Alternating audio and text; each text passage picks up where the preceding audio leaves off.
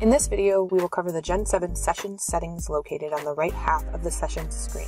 For information about the settings on the left side of the sessions screen, see our Creating an Event Sequence video linked in the description below. From the main screen, navigate to the Settings screen and then select the Sessions tab.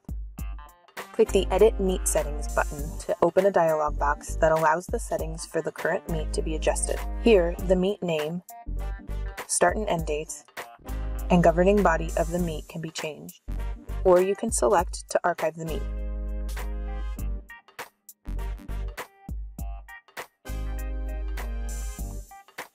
Click Edit Session Settings to adjust the current session number, session start time, and add or change a custom tag assigned to the session.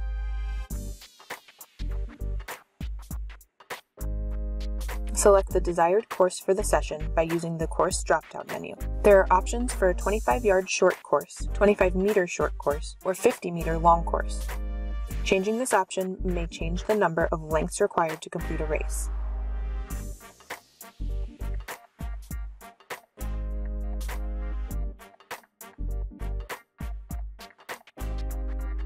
Use the Lanes in Pool drop-down to select how many lanes there are in the pool for the course you are running.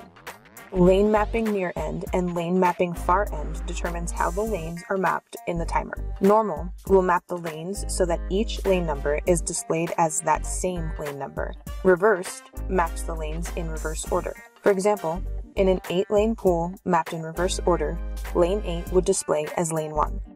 Select Advance and click the Edit button to open a dialog box where the lanes can be mapped so they are shifted as well as set to normal or reverse. For example, in an 8-lane pool running 6 lanes, the lanes can be shifted so that lane 2 displays as lane 1, or, if also set to reverse, lane 7 would display as lane 1.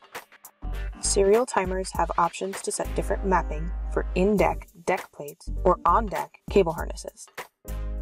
The first lane setting toggles between the first lane being numbered as 1 or 0, with all subsequent lanes being in sequence corresponding to the selection. Unused lanes for a session can be turned off or on in the lanes used section. The lane numbers for the lanes selected in the Lanes in Pool drop-down menu will be displayed. Click a lane number to toggle between on and off. If a lane needs to be switched on or off for an event, it can be done by clicking the lane number on the main screen before the start of the event. A common setup might be to have a 10 lane pool, numbered 0 through 9, but only want to run lanes 1 through 8. You would set first lane to 0 and turn off lanes 0 and 9.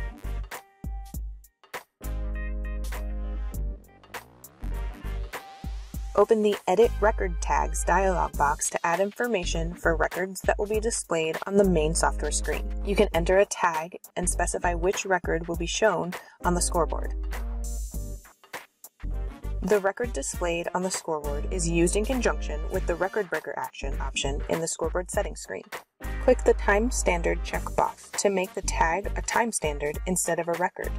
Input each event's time data for the record in the Edit Records section of the event settings on the left side of the screen. For more information about the Gen 7 system, check out our other videos or see our website for more details.